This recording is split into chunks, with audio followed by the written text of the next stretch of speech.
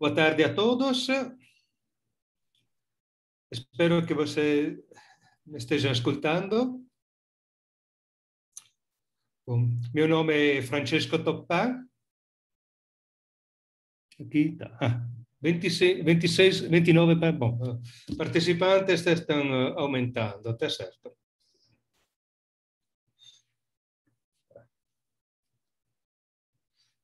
Agora, tá, vamos começar, tá? Bom, eu sou uh, da casa, vou primeiro me apresentar um pouco. E sou da uh, coordenação teórica do CBPF e uh, desde 2000, mais de que 20 anos membro aqui da casa. Desde 2002 eu sou líder de um grupo de pesquisa, estruturas algébricas em teorias dos campos.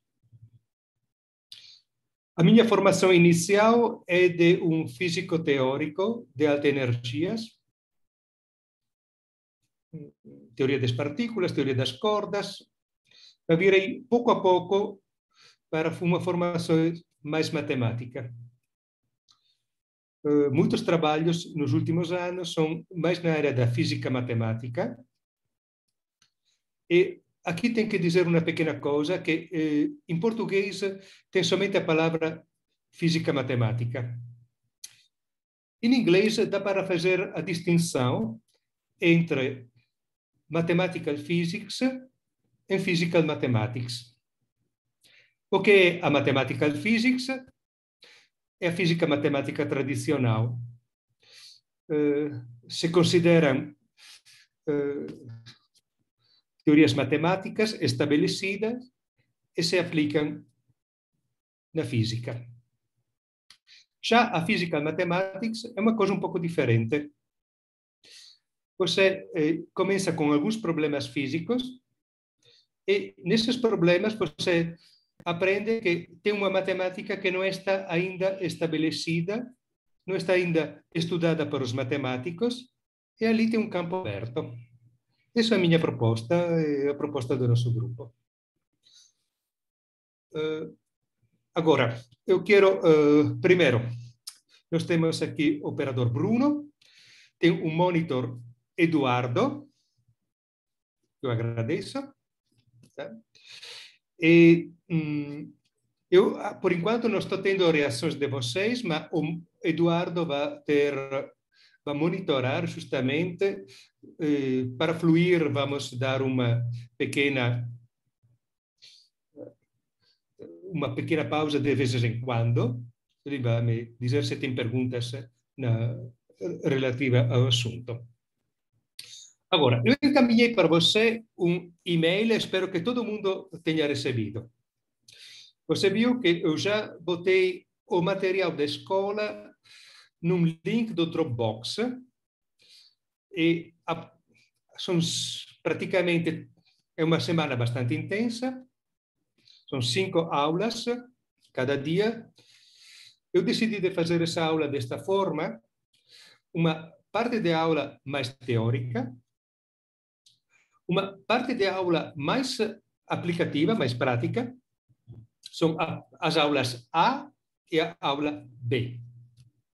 E depois deixar um, um tempo para as discussões e as perguntas. Agora, eu não estou vendo os eh, participantes. Um, inclusive, eu quero dizer uma coisa antes de começar, que uh, como eu falei, como mandei no e-mail para você, uh, além da, das pastas do Dropbox relativo a esse curso, nós temos também, eu tenho também um Journal Club, faz muitos anos que estou, que tenho esse Journal Club, mas a coisa interessante é que desde esse ano, devido à pandemia, é completamente online, alguns dos estudantes que estão seguindo o curso participam nesse Journal Club e uh, eu posso repassar informação. Também tem material que está numa outra pasta de Dropbox. As pessoas que estão interessadas entre em contato comigo para esse tipo de atividade, se quer. Tá. Tem algumas perguntas? Alguém quer eh, levantar mãos até agora?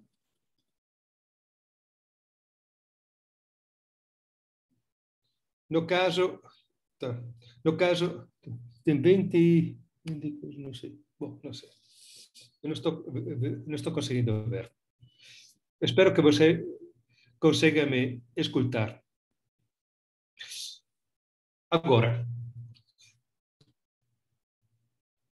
vamos começar o curso. O curso é o seguinte.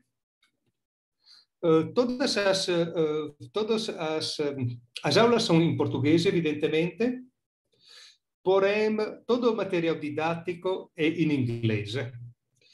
E isso tem uma razão, porque é, também é, acho interessante, os estudantes, o inglês é a língua de comunicação mundial e tem que aprender.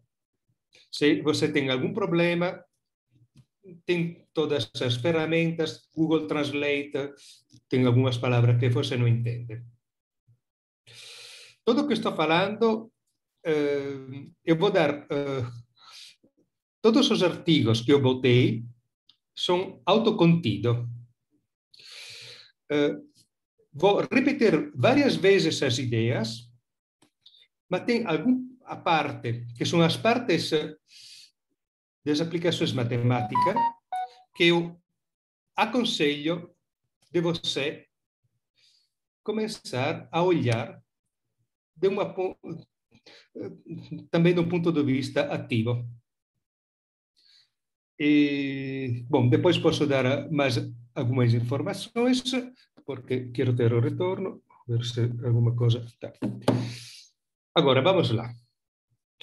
Agora, o sujeito é um novo tipo de paraestatística, que se pode chamar paraestatística, onde as partículas são acomodadas, vamos deixar essa palavra, accommodated in English, em dois bits de informações. Para as pessoas que estão curiosas, esse, esse logo aqui é, é o logo do meu grupo representa um grafo de uma álgebra. Vamos lá. Opa.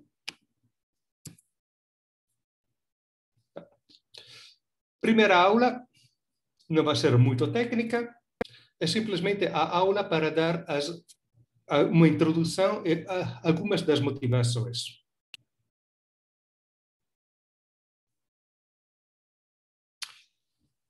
Como falei, esse é o plano do curso. Nós vamos ter cinco aulas. E as aulas estão divididas em duas partes. Uma parte que é mais teórica, essa primeira aula um pouco teórica, e uma parte, uma parte onde tem ferramentas matemáticas. E lá dá para abrir as contas. E minhas sugestões, minha sugestão é você abrir as contas. Como eu falei, tem algum material que eu já disponibilizei para vocês no link do Dropbox, que encaminhei por e-mail.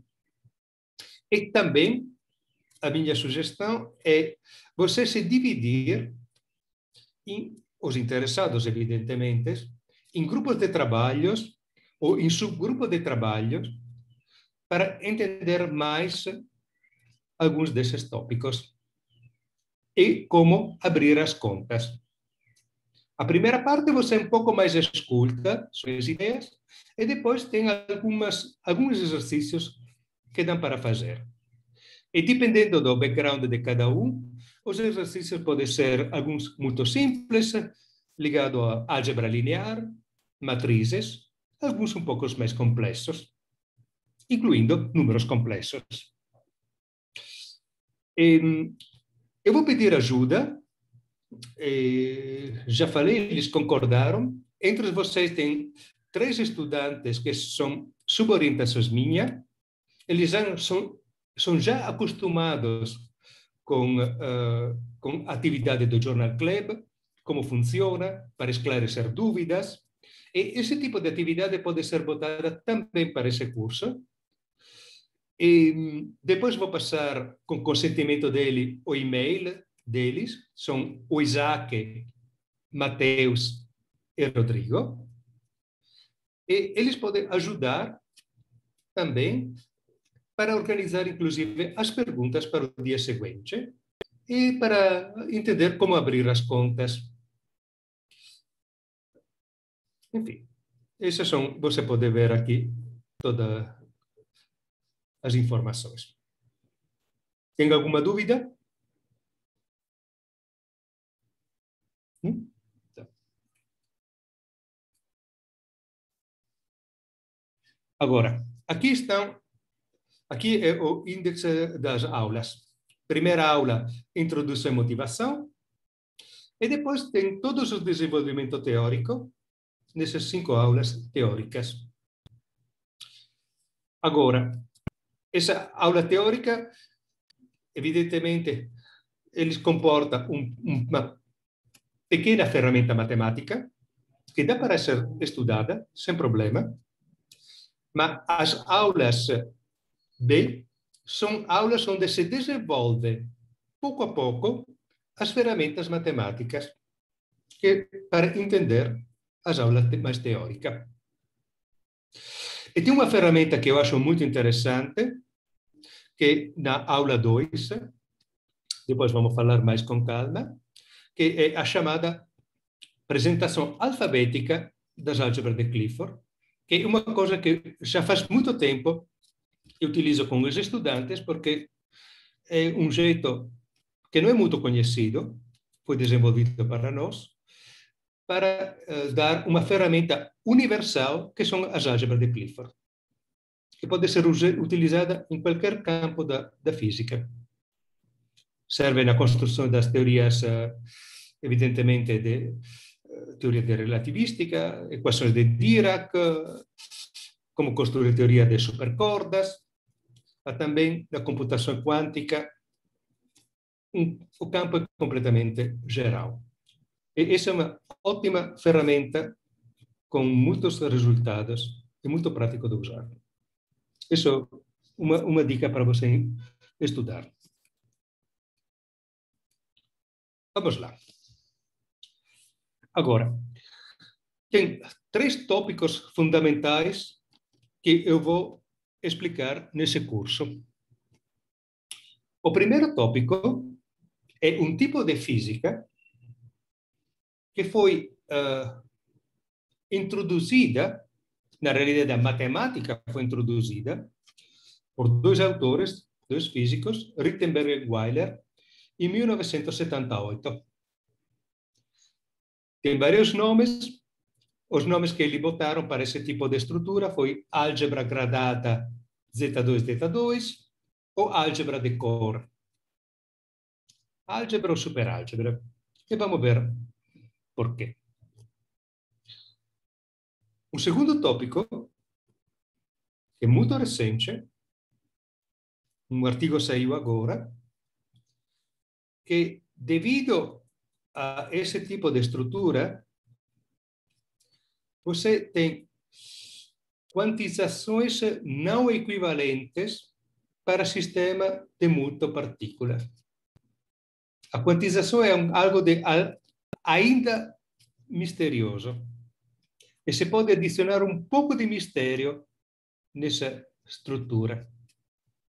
Uma piada, que faz sentido em inglês, se pode adicionar a bit of mystery nesse tipo. E vamos ver essa coisa. O objetivo deste curso é estudar quais são as consequências das parapartículas que são praticamente introdu foram introduzidas por Rittenberg e Weiler. E para fazer isso, nós vamos utilizar uma ferramenta que foi introduzida em 1995 por un matematico, fisico matematico, Majid, che si chiama prodotto tensorial braided numa predict category. Muita palavra complexa, mas as coisas são bem fáceis. E aqui tem uma coisa interessante, porque quem de vocês já investigou, já passou o curso de mecânica quântica, já viu que para fazer teorias de multipartículas, você tem que ter as funções de ondas que são ou completamente simetrizadas ou completamente antissimetrizadas. E para fazer isso, você pode fazer isso à mão. Porém, tem uma estrutura matemática que não é ensinada nos cursos elementares, a estrutura da álgebra de Hopf, porque não serve, porque a mão você pode, sabe como simetrizar ou antissimetrizar. Mas o objetivo da objetivo, a aplicação da álgebra de Hopf, que você pode fazer coisas muito mais gerais, que simplesmente simetrizar ou antissimetrizar. E por isso é importante estudar, porque tem verdadeiramente é uma coisa que pode ser ensinada mesmo nos cursos básicos. E vamos ver isso, entre as outras coisas.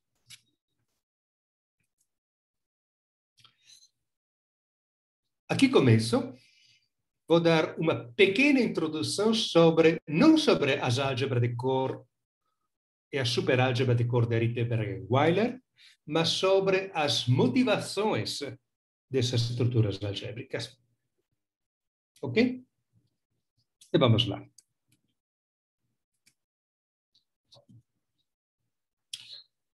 Aqui estou dando uma, o que se chama uma, uma timeline, a linha do tempo de como foram introduzida a superálgebra na física das partículas. E agora, você tem que entender que nos anos 60 as simetrias começaram a jogar um papel fundamental. Foi nos anos 60 justamente que foi desenvolvido o chamado modelo padrão das partículas elementares.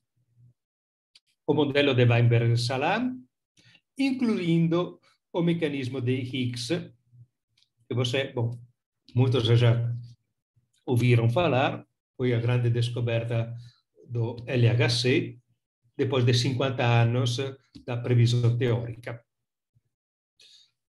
E essa estrutura algébrica são baseadas sobre álgebra de Lie, grupo de Lie, como as álgebras de Lie e os grupos de Lie que são estudadas nos, nos cursos fundamentais. Por exemplo, álgebra de rotações, generalizações como álgebra SU2, SU2U1 e assim por adiante. Porém, houve um chamado teorema de Novo, de Coleman-Mandula, que pontualiza uma coisa, que se você tem partículas que são, a gente sabe, tem partículas bosônicas de um lado e fermiônicas do outro lado, lá para a possibilidade de utilizar simetrias. Porque você não pode misturar partículas bosônicas e partículas fermiônicas. Isso é um resultado, entre aspas, negativo, porque significa que a possibilidade de utilizar a simetria é limitada. Os bósons podem ser misturados com bósons, os férmios misturados com férmios, mas não pode ser, os dois tipos não podem ser misturados. Mais ou menos na mesma época, nos anos 60, os matemáticos estabeleceram uma estrutura, que são as chamadas superálgebra, a estrutura Z2 gradada, que na realidade demonstra que se pode contornar o teorema de Coleman-Mandula, não é rico o suficiente, se pode dar estrutura, simetria mais ampla, onde bósons e férmios podem ser misturados. Isso, inclusive, é a supersimetria, que foi desenvolvida a partir dos anos 70 pelos físicos. O famoso trabalho de Volkov-Akulov, com primeiros modelos, e assim por adiante. Agora, em 1975, Hag, Opushansky e Jonius, a partir do teorema de Coleman-Mandula, que fala que não pode ser misturada, eles fizeram a generalização classificando as teorias relativísticas supersimétricas com superálgebra que misturam as partículas bosônicas e fermiônicas. Essa é a base da grande base de partida para toda a supersimetria. Supersimetria n igual a 1, n igual a 2, teoria de Super-Mills, até supergravidade, com oito supersimetrias, que pode ser interpretada como uma supergravidade, uma teoria em 11 dimensões de espaço-tempo. 1975. Uma classificação das álgebras de Super Poincaré utilizando a estrutura gradata Z2. Bom, você está percebendo, você pode engrandir a estrutura, superar um, uma objeção, que foi a objeção de Coleman-Mandula. Eu, às vezes, costumo brincar, a coisa seguinte, em inglês se chama teorema de Novo, quando as coisas não podem funcionar. Eu falo sempre para os estudantes, eh, toma cuidado, porque um teorema funciona, evidentemente, dependendo das hipóteses. Se você relaxa as hipóteses, um teorema de no-go pode diventar um teorema de go-go. Pode, algo pode acontecer. As teorias estudadas de Agua, Puchansky e Sonius são baseadas em partículas puntiformes. As partículas da natureza que são descritas para nossas teorias fundamentais, por exemplo, os elétrons, os neutrinos, são partículas, são teoria puntiforme, são partículas puntiformes, não tem, não tem uh, dimensões, não tem, uh, são... Tá. Mas, um pouco mais tarde, foi sobretudo Daury e Frey que introduziram um conceito, que é um conceito de supersimetria estendidas. Se pode generalizar não somente a passagem de Coleman-Mandula para Hagwa-Pusansky-Sonius, mas também o próprio Hagwa-Pusansky-Sonius, com a chamada supersimetria generalizada ou saturada. A interpretação física qual é? Que, em lugar de teoria somente objeto partículas puntiformes, você pode até descrever objetos estendidos. Por exemplo, cordas, branas, objetos unidimensionais, dois dimensionais, cinco dimensionais, coisas desse tipo. E isso foi, inclusive, muito estudado na, em todas as aplicações das teorias das cordas. Tem uma side story nessa, nessa linha que Rittenberg e Weiler, justamente, introduziram em 1978 dois trabalhos, um em Journal Mathematical Physics, outro em Nuclear Physics B, sobre estruturas que não são mais Z2 gradada, mas são Z2, Z2 gradada. Essa linha de pesquisa teve um pequeno sucesso, foi estudada um pouco para os físicos, foi estudado um pouco mais para os matemáticos, mas não houve um grande desenvolvimento até agora. Porque vários grupos, e sobretudo em nosso grupo, nessa, nessa, nessa linha, começaram a estudar sistematicamente qual é a propriedade desse tipo de teoria. Tem algum. Eu aqui não estou vendo nenhuma reação. O Eduardo, você está. Não, por enquanto, por, Por enquanto ainda não, Francisco. Por enquanto ainda não, tá certo. É, o pessoal está prestando atenção por enquanto. Obrigado. Nada. Agora, Rittenberg e Waller introduziram não uma estrutura, mas duas estruturas.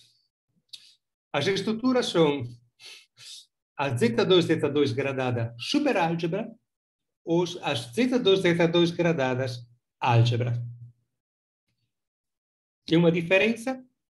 A diferença é como você constru, construi os comutadores, os anticomutatores de dois objetos. Vamos dizer duas partículas, A e B. Comutatores e anticomutatores são objetos fundamentais que foram introduzidos justamente para descrever as partículas bosônicas e as partículas fermiônicas. A partícula bosônica, os osciladores tradicionais foram introduzidos desta forma, com comutadores, e tem a toda a estatística de Bose, chamada de Bose-Einstein, ligada com esse efeito. Os anticomutadores foram introduzidos pelo Fermi. E, evidentemente, fermions significa que, bom, foi, o nome é dado porque foi ele que introduziu esse tipo de partícula, do ponto de vista teórico, que obedecem à estatística de Fermi-Dirac. E agora nós podemos dizer que tem dois tipos de partículas na natureza, que são os bósons e são os férmions. Qual é a diferença fundamental? A diferença fundamental é que os férmions não podem compartilhar os mesmos números quânticos. E essa é uma grande diferença. Os bósons compartilham o mesmo número quântico. Exemplo, você estuda a tabela periódica de Mendeleev da química, que foi desenvolvida de considerações empíricas pelo Mendeleev no século XIX. E pouco a pouco todos os elementos eh, ficaram botados na, na tabela de Mendeleev. Alguns elementos Mendeleev deixou em branco porque não, à época não eram ainda conhecidos e foram descobertos depois, motivado pela tabela de Mendeleev. A questão é a seguinte: a física quântica praticamente ela, ela explicou a tabela de Mendeleev. E como explica, os elétrons que estão na camada externa dos átomos são justamente partículas fermiônicas. E, sendo partículas fermônicas, eles não podem compartilhar os mesmos números quânticos. Isso é chamado princípio de exclusão de Pauli. É devido a esse efeito que você existem, eu existo, nós existemos. Porque no mundo onde os elétrons tivessem bosônico, não teria química. Todos os átomos, todos uh, seriam coletados no estado fundamental. Todas as várias comadas ocupadas, que dá origem aos vários elementos, são devido a esse princípio. E isso está codificado com o anticomutador.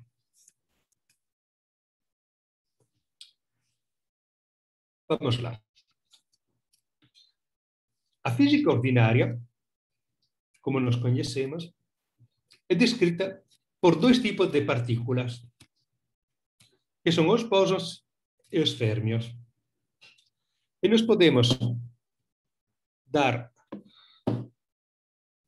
identificar os bósons com o número 0, os férmios com o número 1, um, e o tipo de estrutura que ele satisfaz é a estrutura da aritmética modular. Quando você junta um bóson com bóson, você vai ter um bóson. Zero mais zero dá zero. Quando você junta um bóson com um férmion, você vai dar um férmion. Zero mais um é um. E quando você junta dois férmions diferentes, ele vai dar um bóson. Na aritmética modular, um mais um é dois, mas dois módulos dois é zero. Esse é o tipo de estrutura. Muito básica. E assim você está vendo que quando você tem que descrever bósons e férmions, eles, bósons com bósons e bósons com férmions, comutam entre eles, na férmion com férmion, anticômuta. Aqui em vermelho tem esse anticomutator introduzido pelo Fermi e esse anticomutator, nesse comutator, tem o princípio de exclusão de Pauli. E fala que dois férmios não podem ficar no mesmo, compartilhar o mesmo número quântico. Com essa identificação, você pode dizer que a física ordinária é descrita por, por partículas que compartilham um bit de informação. Vamos utilizar essa notação da informática, 0 e 1. Um.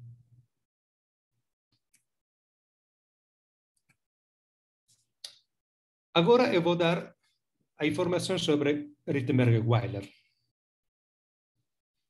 Duas estruturas. Vamos primeiro a investigar a estrutura. Oh, tenho algumas questões em aberto. Oh, tem várias. Uh, o Eduardo, tem, tem, eu não estou vendo aqui as questões. Sim, tem uma pergunta tem uma pergunta aqui do, do Júlio. Ele pergunta aqui se, se, essa era, se essa é a aritmética módulo 2, não era para ter mais uma, não era para existir mais uma parte que é um comutador desse desse tipo rosa aqui? Se você quiser, Nós vamos posso... ver isso na estrutura zeta 2 zeta 2, justamente. Ah, tá. tá bom. Desculpa. Tudo bem.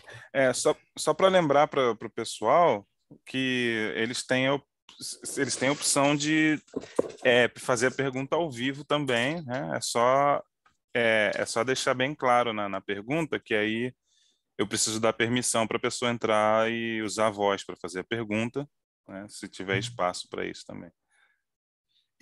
Eu vou tentar de dar uma parada de vez em quando uhum. para deixar fluir o discurso e depois tá. uh, responder as várias perguntas.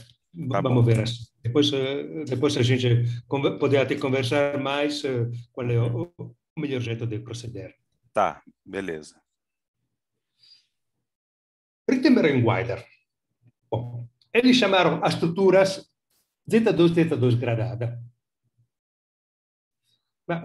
Eu gosto de chamar ela, eu acho mais chamativo, sobretudo com todas as aplicações da informática, chamar essa física de dois bits. Por quê? Porque nesse tipo de teoria, as partículas são descritas por dois bits de informação. Você pode ter 00, 10, 01 e um 1. E você tem uma aritmética de tipo modular, onde, em lugar do caso 0 e 1, um, você adiciona esses números. 0, 0 com 0, 0 dá 0, 0. 1, 0 com 0, 1 dá 1, 1. E assim por adiante.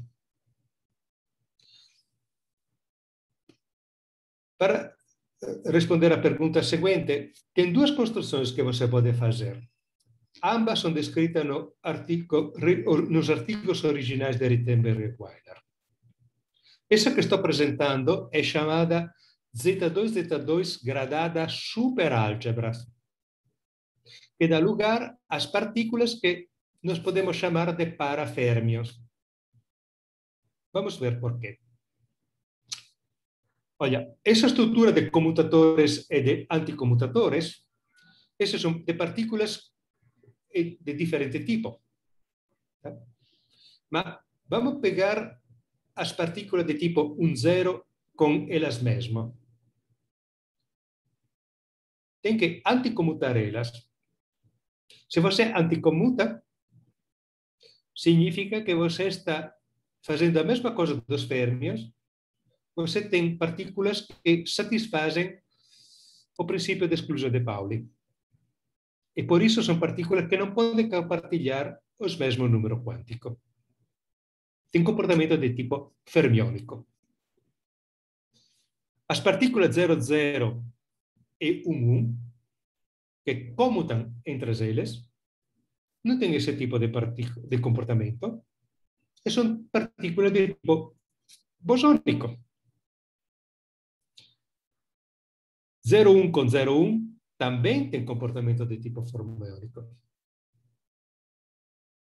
O ponto é que um 0 e 01 não são férmios ordinários, mas são paraférmios.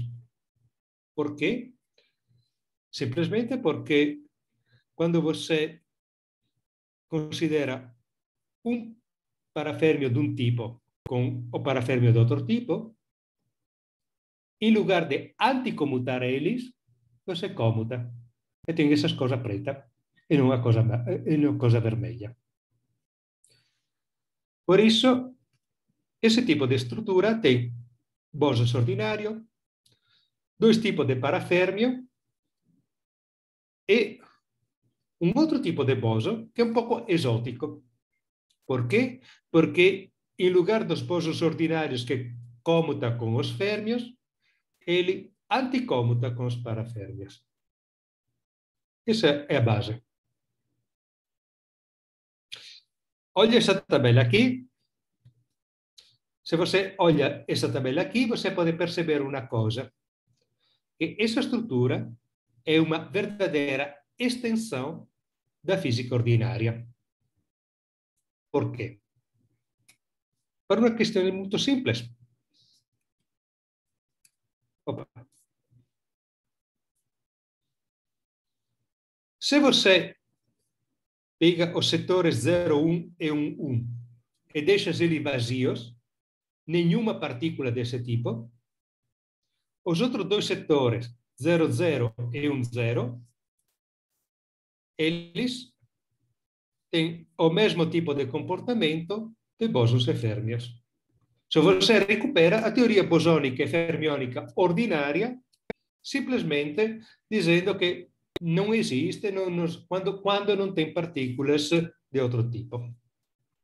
E isso, evidentemente, significa que esse tipo de, de estrutura é, é uma extensão da física ordinária.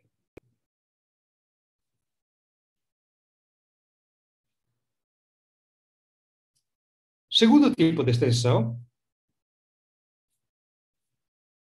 que é ligada com o tipo de pergunta que foi feita antes, também no Rittenberg-Weiler, também com dois bits de informação, você pode construir um outro tipo de estrutura que é dada para esse, esta tabela. Agora, aqui você está vendo que você tem também dois bits de informação, 001001 e 11. Porém, o que acontece? Olha na diagonal, todas as parênteses da diagonal são pretas, são comutadoras. Significa que todos esse tipo de partículas têm um comportamento de tipo bosônicos, não de tipo fermiônico eles não satisfazem o princípio de exclusão de Pauli, ele pode ficar toda junta no mesmo número quântico. Porém, porém, a questão é a seguinte, essas partículas que são de tipo bosônico, em lugar de como fazem os bósons ordinários, que comutam entre eles, qualquer que sejam os bósons, eles são, fazem esse tipo de comportamento que anticommuta desta forma. 0, 1 com um 0 anticommuta, um 0 com um anticommuta, um 1 com 0, 1 anticommuta. Não são mais bósons, são parabosos para estatística. Desta forma. E uh, quando você tem isso, você pode entender que esse tipo de estrutura algébrica não pode ser aplicada em teoria onde tem férmios, porém pode ser aplicada para todos os tipos de modelos onde você investi investiga estruturas que são puramente bosónicas. Bosónica de vários tipos, e você pode perguntar se existem parabosos que satisfazem esse tipo de construção. Aqui são vários comentários que depois podemos, no caso, ir mais em frente. Pergunta até agora?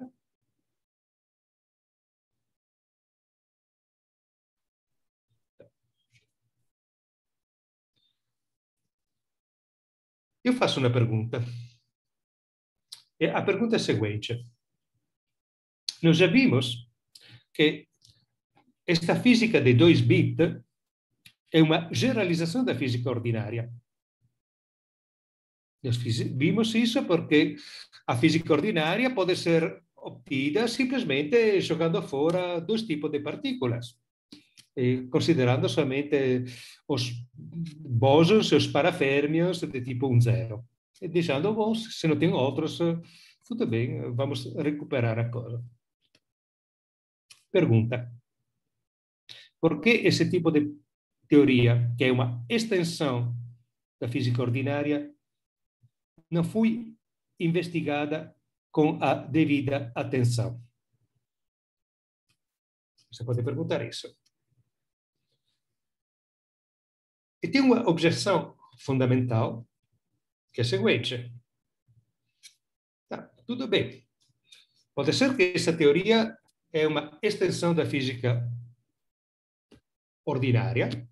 Tá? Tem mais, tem, vamos dar mais cores nas partículas. Em lugar de ter partículas que são somente preto e branco, 0, 1, bósons e férmios, podemos dar. Essa foi a palavra utilizada no começo pelos Rittenberg e Weiler, física das cores color physics, a expectativa é que podiam dar algumas eh, implicações para os quarks. A questão fundamental é a seguinte. Será que nós conseguimos observar a cor? E posso reformular a questão de esse tipo de com uma outra pergunta. A pergunta é a seguinte: existe uma medida quântica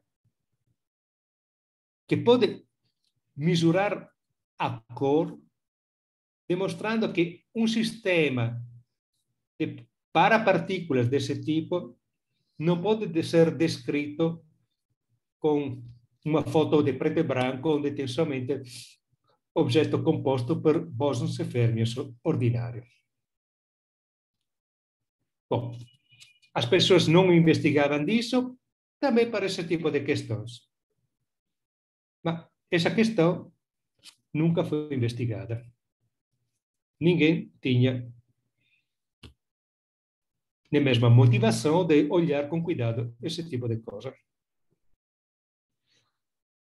No curso, nesse curso, nós vamos dar a resposta a esse tipo de questão. E a resposta significa, entre as outras coisas, que se a resposta for positiva, que essa estrutura algébrica de Rittenberg e Weiler pode jogar um papel na física, em vários tipos de aplicações. Por quê? Porque, em princípio, essas partículas para partículas pode ser detectada medida experimentalmente. A construção que vou apresentar é puramente teórica, esse é o papel de que nós estamos fazendo, papel de, lembra, de physical mathematics, construir alguma estrutura e tentar de entender quais são as possíveis aplicações dessa estrutura no mundo físico. Vários tipos de aplicações. E quando você faz uma pergunta desse tipo, não precisa investigar sistemas super complicados. Você precisa se focalizar num sistema simples. O sistema mais simples possível, que não seja trivial, onde você tem toda a estrutura sob controle e pode dar uma resposta clara para esse tipo de pergunta. Isso nós vamos fazer.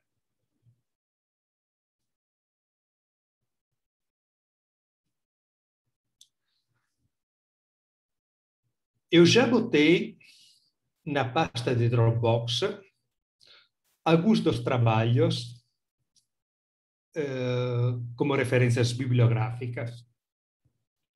E muitas mais referências bibliográficas eu vou dar durante as palestras, durante os cursos. E, e vou voltar atrás sobre essas coisas. Como falei, tem dois trabalhos originais, onde foram foi introduzida a estrutura, que são os trabalhos de Rittenberg e Weider. Tá? Acho que tenho também as cópias deles na, numa das pastas do Dropbox, com o link que eu mandei para você por e-mail. A outra referência que vou utilizar como construção sobre coproduto da álgebra de Hopf, que fala como construir estados de multipartículas, é esse livro sobre grupo quântico de 1995 do Majid. E, do meu ponto de vista, precisava esperar todo o desenvolvimento dos grupos quânticos, que começou na década dos 80, 1980, no final dos 80, começo dos 90, para apreciar verdadeiramente o sentido de Rittenberg e Weider. Depois, eh, mesmo assim, demorou bastante anos, mais de 20 anos, até que essas teorias foram levadas a sério com investigações sistemáticas. E nós fomos os responsáveis dessa, dessas investigações, um, na colaboração com a professora Jana Kuznetsova da UFABC em São Paulo e com Naruhiko Haizawa, japonês de professor japonês da, da Universidade de Osaka. Alguns anos atrás, nós para acaso, investigamos um sistemas de partículas eh, com spin não relativístico, que foram descritas por Levi Leblond, 1967, e percebemos que a, a estrutura de simetria dessas partículas, coisa interessante, são descritas, são para uma álgebra θ2, θ2, uma das álgebras de Rittenberg e Weiler. Isso foi uns 5 ou 6 anos atrás.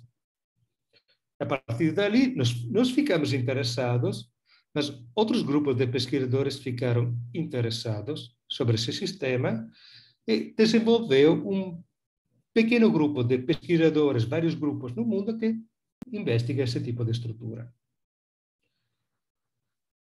O primeiro trabalho onde quais são as consequências da física das partículas Z2, Z2, é esse trabalho aqui do ano passado. E lá tem todas as como se construi mecânica clássica, teorias lagrangianas, com esse tipo de partícula que tem grading um pouco estranho. Um outro trabalhador, que pesquisador, o Bruce, depois estendeu esse tipo de coisa para duas dimensões. E na mecânica quântica, tem esses dois trabalhos fundamentais. Tem um modelo que foi introduzido pelo Bruce Duplin, jogado um pouco como nada, como um papel. Lá mostraram que tem uma simetria Z2, Z2. Tá, tá certo. E nós entendemos, tentamos de entender esse tipo de modelo, dando uma construção sistemática para, essas, para esse tipo de teoria, construindo a mecânica Z2, Z2 gradada, quantizando as teorias clássicas. Trabalho também muito recente, como você vê. Mas esse tipo de trabalho são interessantes. Você estende a física desta forma, mas tem essa pergunta pequena que fica lá. Tudo bem, você pode estender a física, mas você está conseguindo verdadeiramente fazer algo de diferente? Ou, no final das contas, tem um jeito para recuperar toda essa física estendida a partir dos bósons e férmios? E o trabalho que responde a essa pergunta, também muito recente, por esse ano, esse trabalho aqui. No curso das aulas, eu vou ilustrar esse trabalho. Vou ilustrar um outro trabalho que com Jana Kuznetsova, onde nós investigamos algo que as pessoas não tinham investigado. Inclusive, se você olha a própria literatura, o próprio artigo que fala sobre Rittenberg e Weiler, eles descrevem somente a superálgebra, onde tem paraférmios. Mas esquece, até nem mesmo menciona a segunda estrutura de θ2, θ2 álgebra, porque, bom, não tem, não tem férmios, não tem paraférmios, tá? é uma estrutura que fica lá. Ela também tem parabosos, e os parabosos podem ter alguma implicação física. E nós introduzimos, também muito recente, alguns meses atrás, em março, esse tipo de estrutura. E último trabalho que foi publicado agora é, vou relatar, é sobre adicionar um bit de mistério à quantização, mostrando que tem essa estrutura de grading vai dar quantizações inequivalentes para sistema de multipartícula. Esse é o esquema. Agora vou terminar essa primeira parte, parte teórica de introdução, e vou pedir, por favor, de você se manifestar, fazendo pergunta, questões, comentários, sugestões e tudo isso. Agora são. Bom. Vamos deixar um pouco de coisa para depois fazer uma uma segunda parte um pouco mais uh, matemática, com algumas. Vamos tentando ver como se pode abrir algumas contas. Tá é, certo? Uhum. Francisco, tem a pergunta do Júlio aqui novamente. Ele pergunta se Sim? essas estruturas, se essas estruturas têm alguma relação com C álgebras. Qual álgebras? É, acho que são C álgebras, né? Ah, pode ser que o, o Júlio, o, o, Júlio pode até uh, falar ele mesmo, não? não? Não é melhor. Ah, sim, Júlio, você, você, deixa eu ver, deixa eu ver se ele quer comentar aqui. Por favor, não fica, não fica tímido, é, tá certo? Tá? Isso vale para todo mundo. Como é muito participante, é difícil até de achar o nome dele. Aqui, pronto.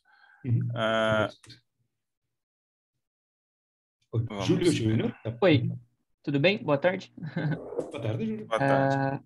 o que eu tinha perguntado ali são duas perguntas, na verdade, que é, bem, eu, tô, uhum. eu sou aluno da matemática, então para mim é tudo, estou vendo tudo muito por cima. Ah, então o que eu Sim. perguntei foi se essas estruturas, uh, elas têm alguma relação íntima com seis estrelas álgebras, álgebras de operadores, e se tem alguma relação, é, e aí a segunda pergunta é se essas propostas que você tem tem alguma relação com unificação também. São as duas perguntas com gravidade quântica, etc. Tá. Agora, bom, eh, agradeço, Júlia. Agora, eh, Sistar álgebra, sim. Isso pode ser, evidentemente, descrito para, com Sistar álgebra, sobretudo, o interesse, do meu ponto de vista, é mais para teoria infinita dimensionais, no caso de teoria de campo. Por enquanto, nesse, nesse tipo de curso, eu estou falando sobre mecânica quântica, seja teoria com número finito de graus de liberdade. Uh, a questão da zeta2, zeta2 e as possíveis aplicações, e eu posso até falar um pouco mais depois, porque, evidentemente, sim. Eh, tem três aplicações possíveis. Uma na física fundamental, se você considera, por exemplo, os nem mesmo falar da gravidade quântica, até algum aspecto da física fundamental. Neutrinos. Ninguém sabe que tipo de partículas são os neutrinos. Pode ser partículas de férmios de Majorana, pode ser férmios que não são de Majorana. Tem vários problemas em aberto. Matéria escura, também. E, evidentemente, se pode fazer especulações que esse tipo de teoria pode uh, até ter estrutura Z2, Z2 ou Z2 a la N, N bit de informações. Mas essas são especulações, mas são factíveis. Tem também todo esse aspecto sobre as aplicações na física da matéria condensada, que pode ser testada no laboratório, segundo aspetto. Un terceiro aspetto che voglio enfatizzare che è il seguente, che um, você pode até, vez que você construi, entende a estrutura algébrica, você pode fabricar você mesmo a estrutura algébrica. Por exemplo, a lógica booleana está codificada nos transistores, mas não somente nos transistores. Você pode até ver no YouTube, tem vários vídeos onde são feitos com computadores mecânico, até feito com domino, que codifica a lógica booleana. Metamateriais pode ser feito com Lego. Uma vez que você entende a estrutura algébrica, a estrutura, você pode até modelizar elas com os ingredientes que você tem. Essas são uma pequena pergunta. Mais questões? Não sei se... Obrigado. Alô? Ah, olá, professor. Tudo bem? É... Ah, tá, Oi, pode falar, Gabriel. É, a pergunta é a seguinte, professor. É, olhando para a tabela Oi. de comutação. Com quem está falando? É, Gabriel. Gabriel Marcondes. Gabriel? Isso. Uhum. É, professor, a dúvida é a seguinte: é, olhando para a tabela que define como, vai ser, como vão ser as relações de comutação e de comutação para o conteúdo de matéria das álgebras Z2 e Z2 graduadas e as superálgebras Z2 e Z2 graduadas, é, me bateu a seguinte dúvida. Como é feita a escolha para definir... Talvez o senhor tenha dito e eu me passei nesse detalhe, é, mas como é feita a escolha ah, para definir para essas esse novo conteúdo de partículas qual vai ser quais serão uh, qual será a escolha entre computador e anticomputador é, porque deu um pouco de sensação que tem uma certa liberdade de escolha. Eu não, não sei se entendi o suficiente. Não, tá. não, na realidade não tem a liberdade. Ótima pergunta. Não tem liberdade. Eh, esse tipo de pergunta foi respondida nos artigos fundamentais de Rittenberg e Weiler. Eles analisaram justamente esse caso o caso mais geral, e demonstraram que tem relações de equivalências E no caso de Z2 Z2, tem somente dois tipos de escolhas que são praticamente equivalentes, que são os dois que mostrei. Eu não fiz a demonstração disso, mas essa demonstração, que não é tanto complicada, pode ser encontrada nos artigos fundamentais de Rittenberg e Wilder. Tem da coisa. Uhum. Entendi, entendi. Obrigado, professor. É, mas só por curiosidade, assim, um leve comentáriozinho a, a mais. É, uma escolha diferente dessas levaria a que tipo de problema? Olha, tem vários tipos, tem, tem vários tipos de escolha. Uh, por exemplo, eu não fa... aqui estou fazendo coisas mais simples. Z2, Z2, Z2, Z2, Z2, Z2, tantas vezes quanto você quer, são estruturas onde tem somente comutadores e anticomutadores.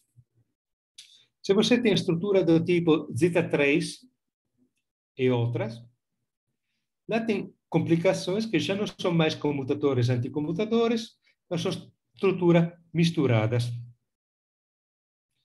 Lá já entra na ótica do, do grupo quântico, onde você tem estrutura mista. Esse tipo de teoria é mais simples porque você está simplesmente acomodando comutador e anticomutador de um jeito um pouco esquisito, mas são sempre os comutadores ou anticomutadores. Eu acho que é interessante para entender esse tipo de estrutura porque é mais fácil, tem muito mais uh, possibilidade e as consequências também. Mas dá para generalizar para os outros, evidentemente. Tá? Entendi. Valeu, professor. Obrigado. Uhum. Tem mais perguntas? Aqui tem três perguntas. Tem, tem a pergunta do Leonardo aqui também. Sim. É, ele, vou ver se ele quer abrir o microfone dele também, porque fica mais, mais dinâmico, né? Vamos ver. Uhum. Não sei se ele... Ah, tá aí. Valeu. Olá, tá me ouvindo? Uhum. É, eu que, sou Leonardo ou Gabriel? É, é, o Leonardo, é o Leonardo. Eu ah, gostaria ah, de saber se o que significaria essas quantizações não equivalentes e alguma se existe alguma implicação física nessa não equivalência. Isso vamos eh, vamos discutir. Espero um pouco os próximos as próximas aulas. Tudo as aplicações bem. por enquanto são teóricas. A espera, evidentemente, é que tenha também aplicações físicas. Ok, então, obrigado. Mas tem, mas tem, vai ter alguma tabela onde se mostra isso. Tá?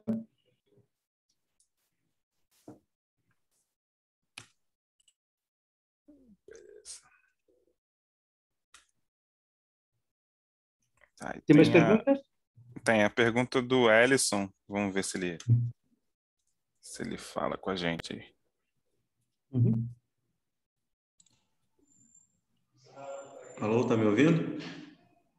Eu ouvi, estou ouvindo.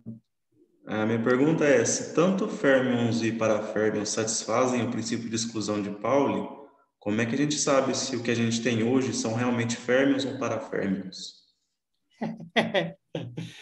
Eu gosto desse tipo de pergunta, porque também eh, tenho esse tipo de pergunta. Ehm, tem um problema muito parecido. Posso dar depois todas as referências para você, que é o seguinte. Você lembra, nos 1950, foi descoberta a violação da paridade, Lee e Yang.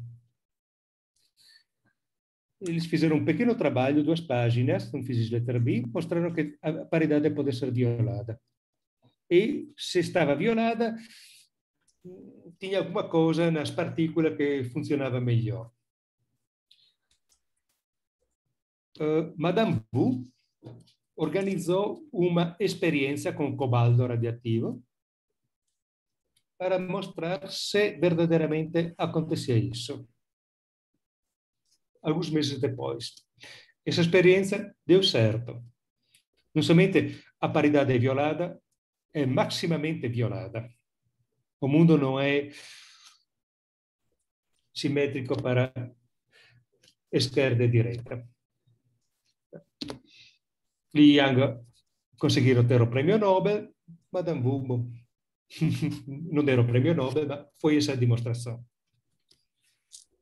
Foi levado em conta, e eu posso te dar a referência, que uh, um, dois anos depois, que uma experiência da física da matéria condensada, feita uns 20 anos antes, de Cox e colaboradores,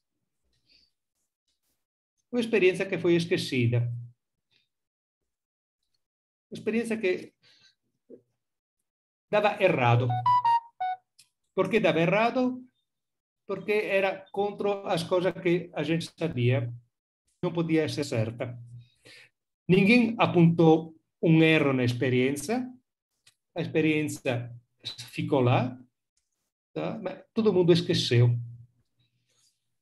E quando a paridade foi tinha essas coisas que a paridade foi violada, tem alguém, eu posso dar depois as referências, que ah, atrás para essa experiência. Essa experiência que não foi considerada, foi considerada, pode ser que foi um erro experimental, por isso. Tá? Tá? Na realidade, porque tinha esse resultado anômalo? Porque tinha a violação da paridade. Seja, já 20 anos antes, tinha alguns dados experimentais que sugeriram, sugeriram que a paridade podia ser validada. Nem mesmo os experimentadores que fizeram esses dados avaliaram esse tipo de coisa. Não, não, hum, sabiam que fizeram, tinha feito a experiência certa, mas não sabia por qual motivo tinha esses resultados anômalos. O meu ponto de vista é o seguinte, que se você olha como é a estrutura desse tipo de teoria, a distinção entre férmios e paraférmios é muito delicada. Não é algo que aparece tanto simples. Você tem que verdadeiramente botar um experimento para verificar isso. Como fazer isso é um outro ponto.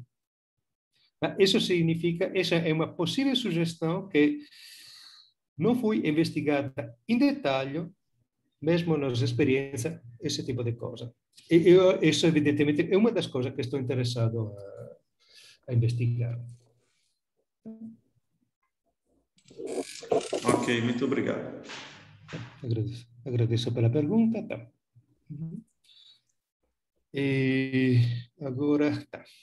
Bom, agora você pode tomar um cafezinho, alguma coisa. Eu vou agora voltar à segunda parte da minha, da minha palestra.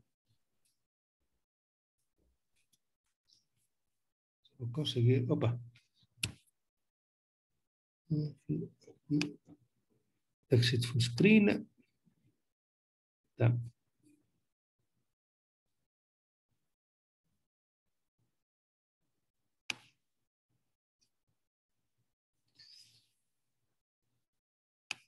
Está continuando a Está continuando a compartilhar a, a tela? Tá, eu acho que sim. Sim. Tá certo.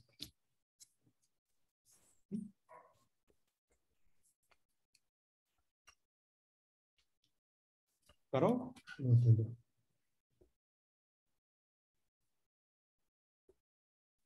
String spell. Uh, uh, momento. Resume share.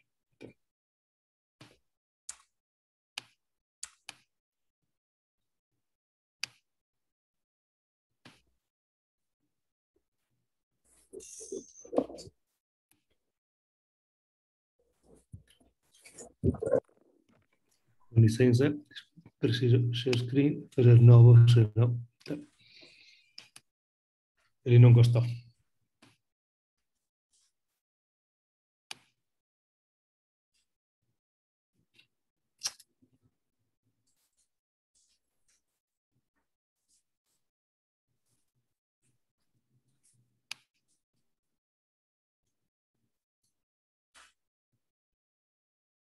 Stop share. Share screen.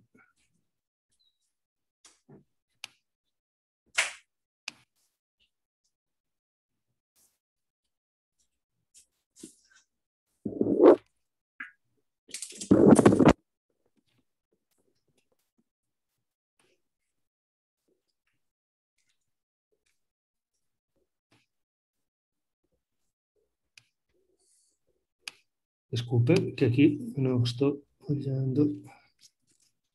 Perdi a de preview. Aqui. Tá. Agora é certo, não? Hum, parece que sim. Tá, tá certo. Bom, agora, uh, tudo certo, tá. Obrigado, Bernardo. Agora,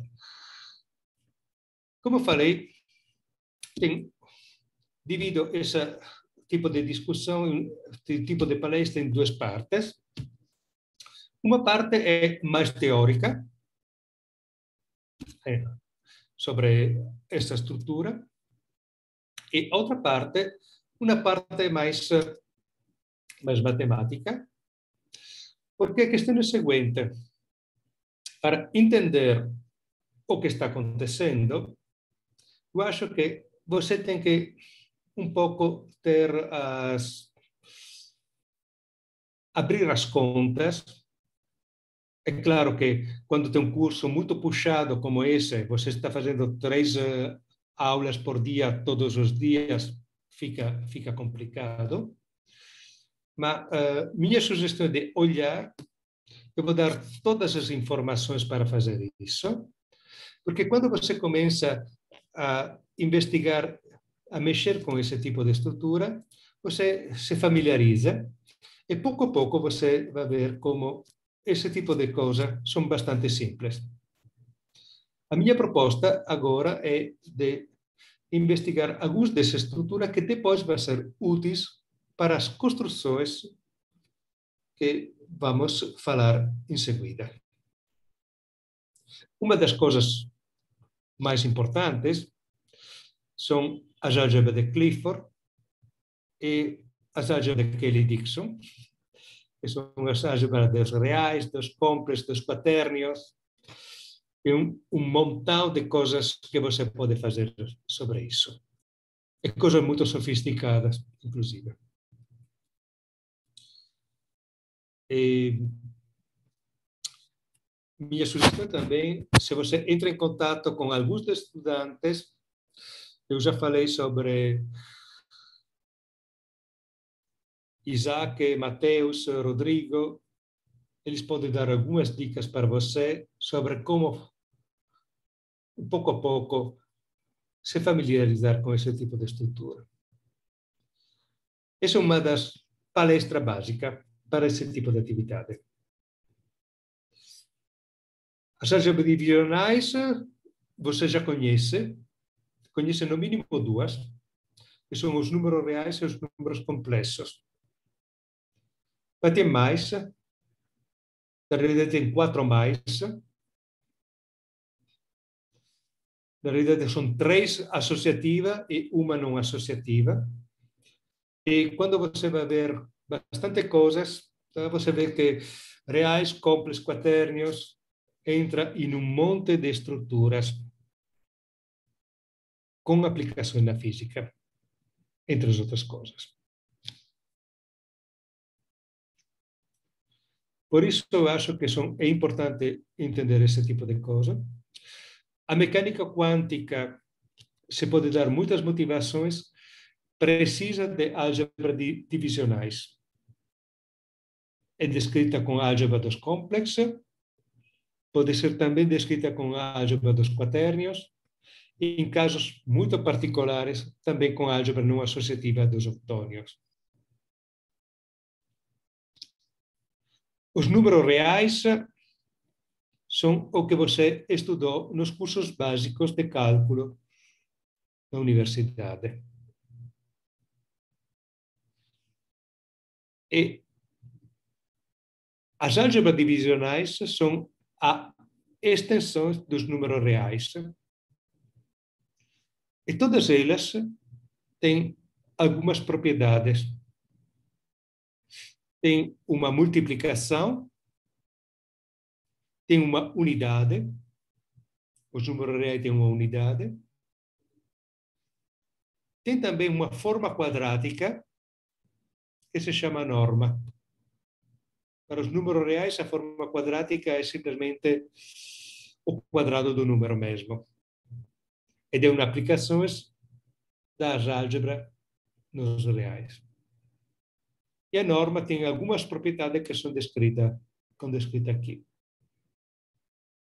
Tem dois tipos de operações que são compatíveis: a adição e a multiplicação.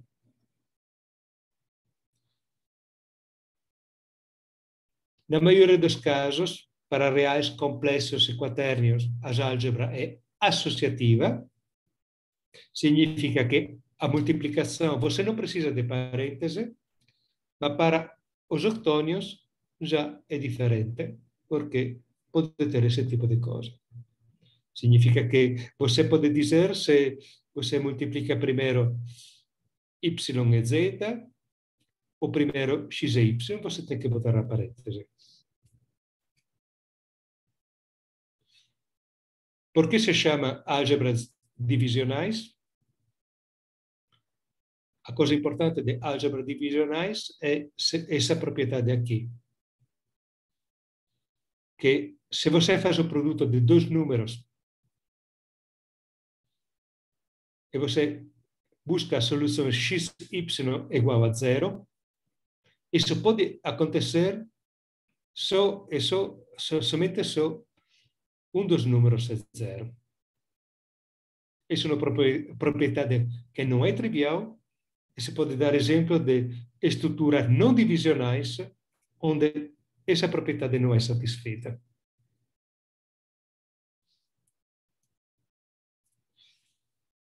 A coisa importante também é uma outra propriedade que é uma star álgebra, que é a conjugação.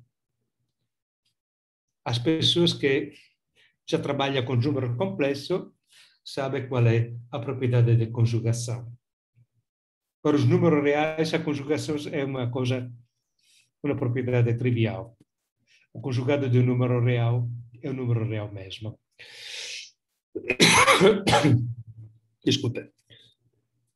Agora, essas são as três propriedades fundamentais que nós vamos manter.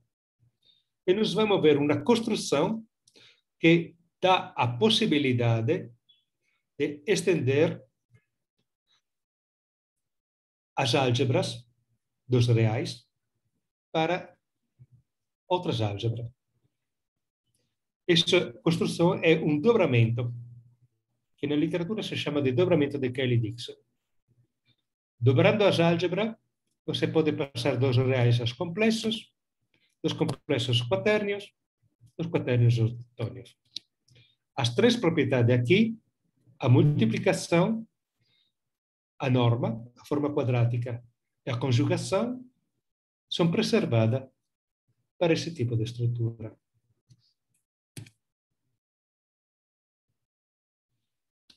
Kelly Dixon nos mostra que se pode fazer dois tipos de dobramento de um parâmetro, um parâmetro, um, um sinho, mais um e menos um, e, dependendo desse sinal, em lugar de ter uma division álgebra, você tem uma chamada split division álgebra.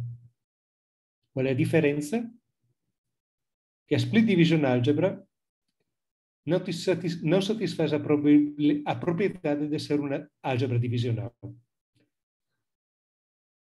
Outro jeito de dizer, tem divisores do zero que não são zero.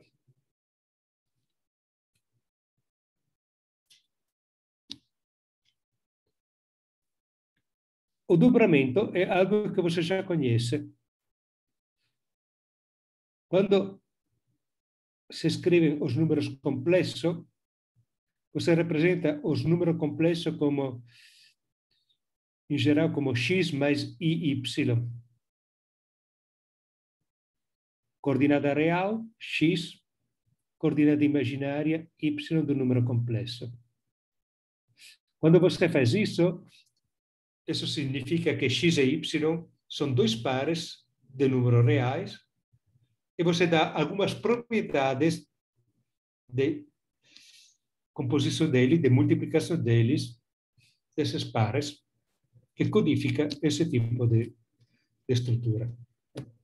Esse é o sentido de Kelly Dixon. É uma generalização desse tipo de construção.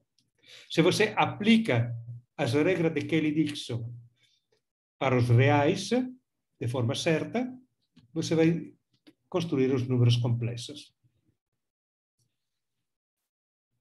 Na página anterior, eu falei que tem três propriedades fundamentais: a multiplicação, a norma e a conjugação. Essas são definidas para uma álgebra A. Kelly Dixon fala que se pode construir duplas de elemento que não são em A, mas são quadrado de A, x e y, cada um pertence a A, agora você construi dupla desse tipo e você dá regra de multiplicação, de conjugação e de norma que são dadas para essas três propriedades que você está olhando lá. Lembra que quando eu escrevo, por exemplo, aqui W com estrela, essa estrela é a conjugação em A, não em A quadrado. Porque nesse par você pode dar a conjugação em A. Em A quadrado, essa é a regra de conjugação. Todas as propriedades são algoritmicamente estendidas para o quadrado. E assim por adiante. O Kelly Dixon explica que tem duas possíveis escolhas para o sinal. Escolha desse epsilon, que pode ser ou mais um ou menos um. Se for mais um, você tem a split division algebra. Se for menos um, você tem os division algebra. Qual é o elemento unidade dessa álgebra quadrada, dublada e quadrado, esse é o elemento aqui. E como é representado no par, como a unidade em A com o elemento zero.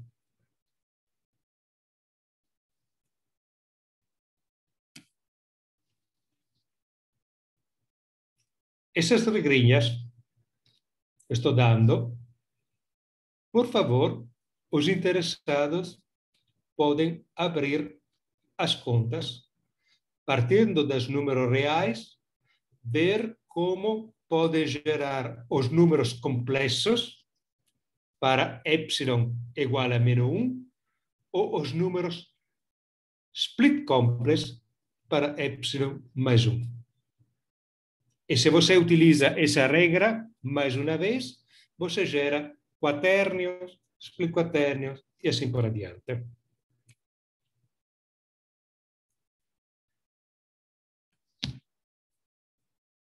E aqui o esquema. Começa com R. Você pode gerar os números complexos como pares de números reais com sinal epsilon igual a menos 1.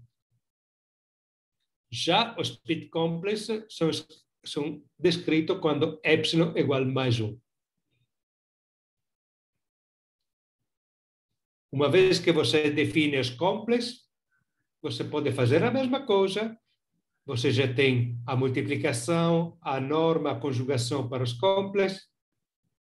Dupla, segundo Kelly Dixon dupla com sinal menos, para se encontrar os quaternios. E assim por diante, com várias coisas. Isso é esquema que você pode de dobramento. Do ponto de vista simbólico, é algo de muito simples. Somente pegar caneta, começar a fazer as contas e você vai perceber o que vai, o que vai acontecer. Se você está interessado, meu conselho é de se juntar em pequenos grupos de trabalhos para abrir essas contas. Perguntas? Oi, tem duas perguntas. Eu não estou conseguindo ler a pergunta. Pergunta do Lucas aqui, eu vou abrir para ele. Não sei se já está aberto, se ele já fez alguma pergunta antes. Não, Sim. então vou abrir para ele aqui. Lucas Souza. Porque eu estou clicando, mas não estou vendo uhum. as perguntas. Uh, Lucas. Oi? Eu abri para o Lucas falar aqui, mas eu não sei se. Bom, se ele, se ele tiver tímido, eu posso ler para ele também. Opa, é, ah, perdão, aqui eu tive um probleminha com, com o microfone, mas já está resolvido. É, é, uma pergunta simples, na verdade. É, se é, a gente pode construir também álgebras se o, o epsilon for menor que 1 em módulo? O que, que acontece se o epsilon for menor que 1? Dá para trabalhar? Como é que, por exemplo, sei lá, um epsilon igual a 0.8. E aí a gente constrói uma álgebra. tá bom, é Olha, você, você é matemático? Não, sou da física. Você é da física? Bom, uh, olha, bom, na realidade não saberia responder essa pergunta. Eu acho que, em geral, quando você normaliza mais ou menos um, deveria ser assim. Mas tá, você pode tentar achar outras coisas. Uh, eu faço muita brincadeira desse tipo, às vezes você descobre alguma coisa interessante. Hum, mas a álgebra divisionais, elas foram classificadas pelo Hurwitz uh, na, década, na final do século XIX. Se sabe que tem somente quatro álgebras finitas nos reais que os reais, os complexos, os cuaternios, que son a única asociativa, mais a outra é os octónios. E por isso é mais interessante estudar esse tipo de estrutura quando tem um epsilon pode ser mais ou menos um. Quando você faz epsilon mais um, você pode investigar, estender outra estrutura que são split complex. E você pode fazer, continuar esse algoritmo até o final. E cada vez você está perdendo um pouco de propriedade. Tá. Mas, bom, construções mais gerais, eh, você pode até tentar fazer. Essas coisas, não sei. Quando, em lugar de mais ou menos um, botar, não sei, raiz de unidade, tem coisas desse tipo ligadas com grupo quântico, enfim.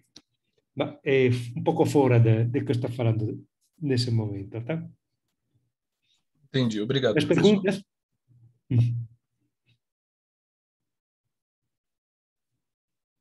Tem mais perguntas? Não, por enquanto não. Tá, tá. Ok. Preciso 5h30, tá. Bom, agora tem. Eu estou dando algumas perguntas. Tá? Que você pode encarar como exercícios. Na pasta do Dropbox, você tem todas eh, os slides, o PDF desse, com todas as perguntas, que você pode abrir, olhar com calma, se você está interessado, evidentemente. E assim por adiante. E assim são Cada vez que você tem um dobramento, você tem o dobramento de um dá para dois, dois números reais, que são os complexos, dobramento de dois números complexos da dois números complexos que são descritos por quatro números reais, quaternios, depois os octônios, e você pode não parar para ali, pode continuar, tem sedênios, tem 32, nem mesmo tem um, um, nome na literatura, todo mundo usa o nome que ele, ele quer, mas as álgebras divisionais somente essa, já os perdem a estrutura da álgebra divisional e de norma, enquanto é preservada para os quatro primeiros. Aqui. Aqui vou fazer a primeira exemplo. Tá? É uma coisa que você sabe, evidentemente. Uh, quando você mexe com um número complexo, você introduz a unidade imaginária, e quadrado igual a menos 1. Os números complexos são escritos desta forma. Z, que é um número complexo, é a soma de dois números reais, x e y, com a unidade imaginária. Tá? E esse z você pode descrever no dobramento de Kelly-Dixon como esse par. Por quê? Porque se você olha a regra de multiplicação do par 0,1, 0,1 vezes 0,1 dá menos um zero, que é a identidade. Esse é o jeito usual de escrever os números complexos. Esse é o jeito de Kelly Dixon de escrever o número complexo, com dobramento dos números reais. É a mesma coisa. E tem também um jeito matricial de escrever a mesma tipo de estrutura, representando a unidade imaginária como matrizes 2 por 2, que é essa matrizes aqui, antidiagonal, com mais um e menos um. O quadrado dela, evidentemente, cálculo matricial de matrizes 2 por 2 é a identidade com sinal menos. E quando você faz a soma desses números x e y, você pode representar um número complexo com uma matriz 2 por 2. E a matriz 2 por 2 é esta. As três realizações são equivalentes. Tanto faz. Você pode escolher essa, que é o que você já conhece dos cursos de, de cálculos. Você pode escolher essa de Kelly-Dixon e pode também escolher a representação matricial, como este aqui. Isso é muito útil quando você faz as aplicações para a álgebra de Clifford, que nós vamos sim ver depois, na parte mais técnica do curso.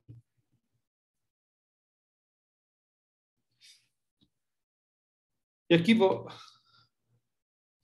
fazer uma outra nota que é a seguinte.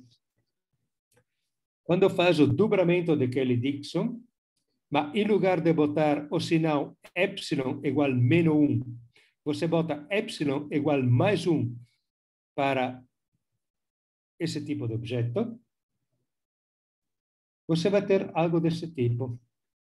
Que o quadrado desse objeto não tem mais o sinal menos, mas tem o sinal mais. e pode ser representada com 0,1 para epsilon igual a menos 1, e isso vai dar que esse objeto ao quadrado é menos identidade, mas se você faz a coisa com epsilon mais 1, você vai dar esse tipo de estrutura. E com esse tipo de estrutura, também você pode dar três representações. Você pode descrever o split complex como um, uma dupla de números reais, x e y, multiplicado por um zeta que tem esse tipo de comportamento, j quadro igual a 1. Você pode descrever eles como dupla de Kelly-Dixon com epsilon igual a mais 1. Mas você pode também descrever como matrizes 2 por 2. E qual é a diferença com o caso anterior? Que essa matriz, está vendo, tem um sinal mais um mais um, não é mais mais um menos um. Essa é uma representação dos números complexos, enquanto essa é uma representação do split complex. Já pode ver o que significa álgebra divisional. Os complexos é uma álgebra divisional. Os split complexos não são divisionais, porque existe elemento do split complex, número do split complex, que para o produto deles dá zero. E essa é uma escolha desse elemento. Um jeito de dizer isso, o split complex tem divisores do zero. Divisores do zero que são números que não são, não são nulo. E essa é uma propriedade fundamental para várias, uh, várias coisas.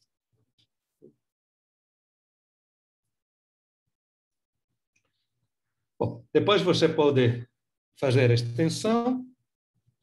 A extensão é para, para os quaternions. Como você faz isso? Você dupla os números complexos e fazendo essa dupla de número complexo, você tem pares de números complexos que são quatro números, descritos por quatro números reais. Os números reais podem ser descritos desta forma, incluindo com matrizes reais 4 por 4.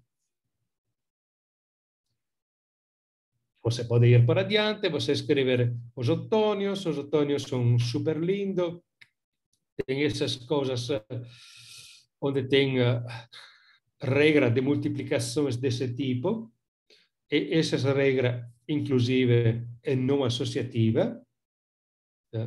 Você pode abrir mão dessas contas aqui, explicitamente, e mostrar que, por exemplo, se você faz o produto de E1 com E2, E1 com E2 vai dar E3 com sinal mais 1, E3 vezes E4 vai dar, você olha aqui, 3 com 4 é essa terna de número, você tem que dar um E5, mas esse é um número totalmente antissimétrico, significa que você tem que trocar 4 por 5, vou ganhar um sinal menos, tem menos E5.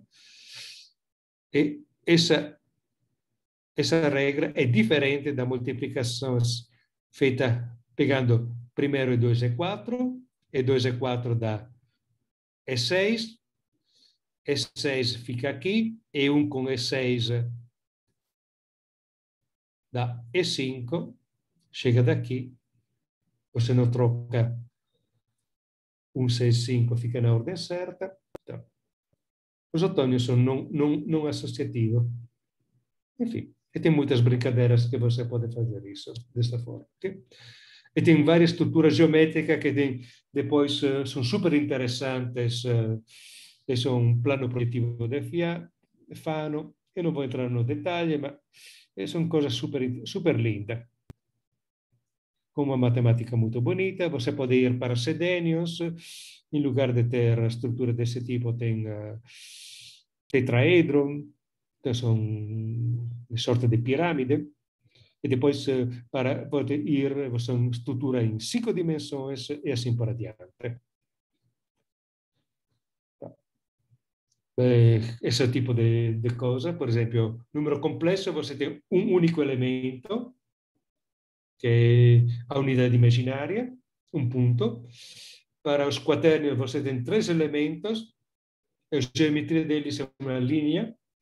Para os octônios, são sete elementos imaginários, que se organizam num triângulo, o triângulo de, de, de, de Fano, como mostrei, dimensões 2 para sedênios, você tem uma estrutura com três dimensões, um tetraedro com 15 pontos que são as raízes imaginárias, tá? e assim por adiante, é claro.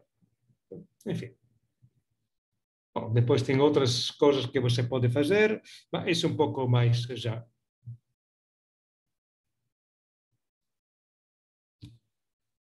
A coisa importante para mim é esse tipo de estrutura e esse tipo de estrutura de por esse tipo de curso reais, complexos e quaternios, eles dão uma interpretação do tipo de álgebra de Clifford que você vai utilizar.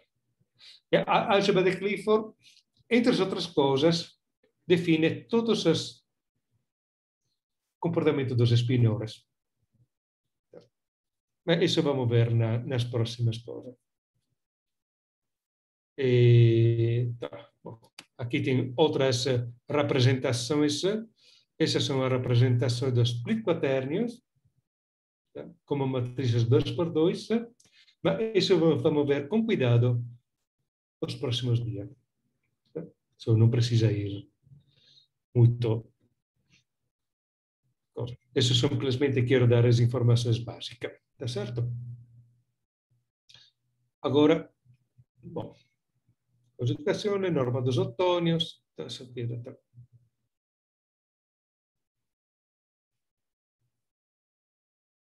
E essas são um pouco as algumas das referências básicas onde você pode encontrar esse material. Algumas referências a mais, incluindo, você pode encontrar no, nas pastas do Journal Club. Eu tenho um Journal Club Algebra e Physics. Eu posso dar uh, o link de Dropbox.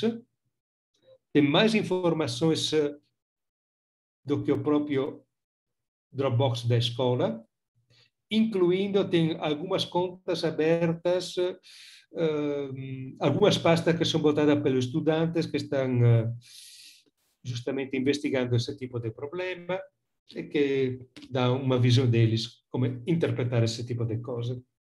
Tá? E, e isso encerra essa parte. E agora são, faltam 15 minutos. Acho que é um bom ponto agora para encerrar aqui. Eu peço, por favor, se tem algumas questões, algumas perguntas, tanto da parte anterior quanto dessa parte, algumas uh, questões também sobre organização do curso, por favor, seja livre e fique à vontade. É, Rodrigo, você pode perguntar se quiser. Opa, estão me ouvindo? Estou sim. vendo, sim. Uhum. Não, é uma pergunta rapidinha. Num desses últimos slides falava aí dos split quaternions, né? Dava exemplo como matrizes 2x2. Não são as matrizes do Dirac ali no exemplo? Um, as matrizes de Dirac Agora, lá é uma questão. Justamente, uma das coisas que você pode fazer é entender como construir as equações de Dirac. Mas, e não somente a equação de Dirac. Majorana introduz a equação de Majorana, que são baseadas sobre espinores reais com quatro componentes. E essa equação pode ser descrita com álgebra de Clifford 4x4 reais. Já a teoria de Dirac, para, a para nosso espaço-tempo em três dimensões espaciais e uma temporal, elas implicam que os espinores de Dirac são quatro componentes complexas. As matrizes, no caso de Dirac, são 4 por 4 complexas ou 8 por 8 reais. Você pode construir, a partir dessa fórmula, um, equações de, vamos deixar, dizer assim, equações de Dirac para qualquer espaço-tempo. Mas essas equações dependem do tipo de espinores. Tem espinore de Majorana, tem espinore de Weil, tem espinore de Dirac, tem espinore de Majorana-Weil, tem espinore de quaternionico e assim por adiante. E todos eles vão ter várias propriedades. E eles podem acontecer somente em algumas dimensões do espaço-tempo. Entendi, entendi. Tá. Bom, eu acho que para entender tem que abrir as contas. Por exemplo, é, com certeza. em quatro dimensões, você pode ter spinore de Majorana, você pode ter spinore de Dirac, você pode ter spinore de Weil, mas você não pode ter spinore de Majorana Weil, que são reais e, Weil. Já em 10 dimensões, e porque existe a teoria de supercorda em 10 dimensões, porque você pode ter, construir spinore de Majorana Weil. Essas aplicações que alguém pediu para a unificação. São regrinhas muito simples. Certo, certo. Esse foi o, o tema da, da, do, seu, do seu curso na última escola, né, professor? Sim, exatamente. Essa foi uma coisa.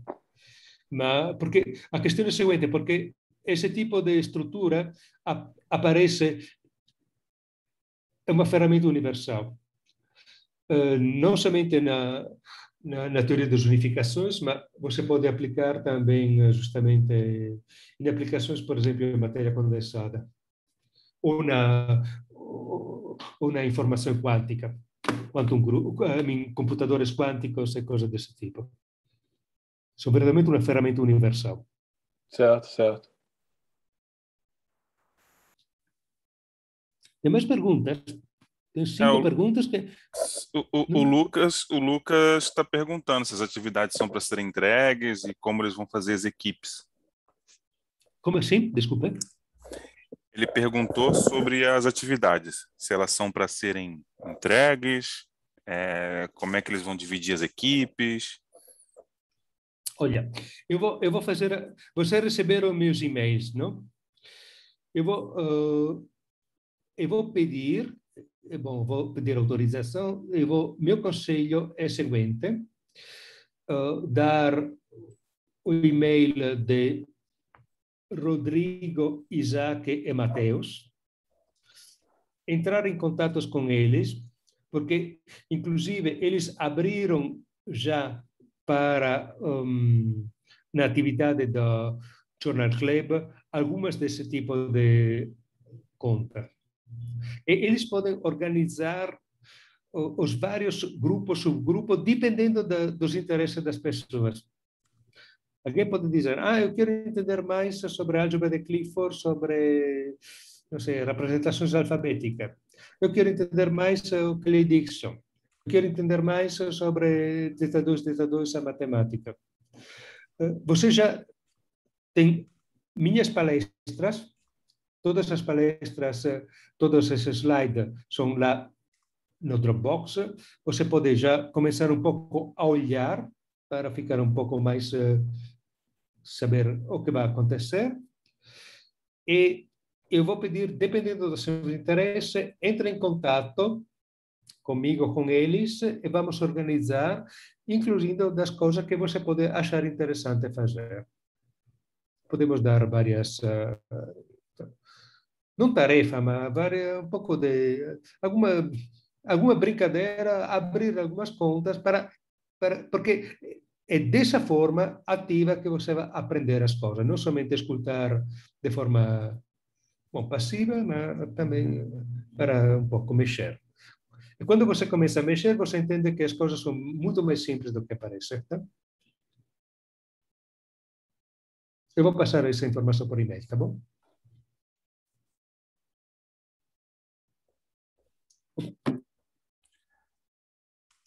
Ah, tem mais uma pergunta da Débora. Eu abri o microfone dela, se ela quiser falar. Sim, por favor. Olá. É, apareceu rapidinho uma, o slide que introduziu ali algumas álgebras de Clifford com algumas assinaturas. Eu queria saber se aquilo estava estabelecendo um isomorfismo, pelo menos com as álgebras que não são. Desculpa, pode falar mais devagar? Desculpa. No, eu vi que rapidinho apareceu num slide é, um pouco das álgebras de Clifford, aquela comparação seria um isomorfismo? É, tá. bom, tem que ver qual é a parte, mas isso vamos falar um pouco mais uh, respeito a, nas próximas aulas. Uh, não sei se você se refere, se refere a essa, essa, essa estrutura ou não? Não, era onde aparecia mesmo, tinha os complexos, os octônios, quatérnios, essa, essa parte aí. Essa parte aqui, tá. Eh, sim, a questão é a seguinte. Um, os quatérnios, por exemplo, são 4x4, são realizados por uh, quatro matrizes. Uma matriz é identidade 4x4 e outras três matrizes são matrizes que são hum, raízes da, da identidade. São, são matrizes 4x4. Essas, quatro essas três matrizes, desculpe, são a realização da álgebra de Clifford 03. A álgebra de Clifford 03, por isomorfismo, é descrita por matrizes 4x4. E você pode realizar elas através dos quaternios, para responder a sua pergunta. Isso podemos ver, isso, isso vai ser visto um pouco mais uh, na próxima aula. Como eu falei, se você está interessada e se outras pessoas estão interessadas em entender isso, seria importante abrir um pouco das contas. Tem todas as informações para fazer isso. E eu e Rodrigo, Isaac e e Mateus podem ajudar uh, nessa tarefa. Beleza, muito obrigada. Uhum.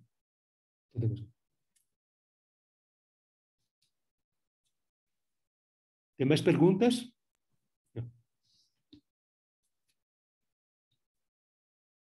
Bom, se não tem mais perguntas, agora são já cinco para seis.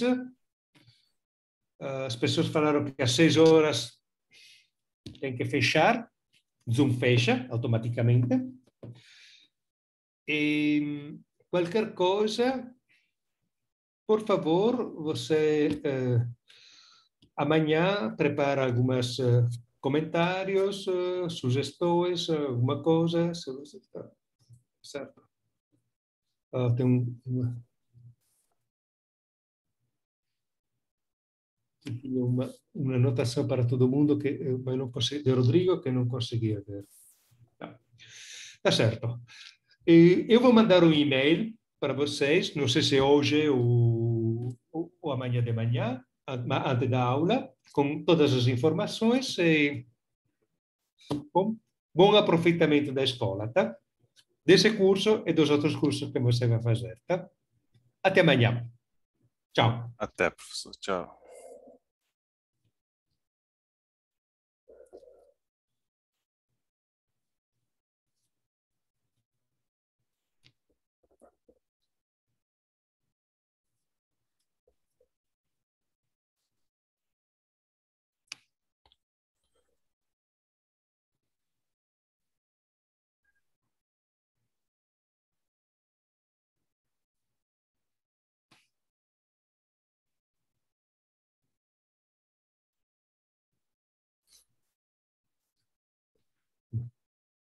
Tá certo. Bom, então até amanhã, Francisco. Até amanhã. Obrigado, Eduardo. Tá? De nada. Tchau, tchau. tchau. Bom descanso. Tchau, tchau. É verdade. Obrigado.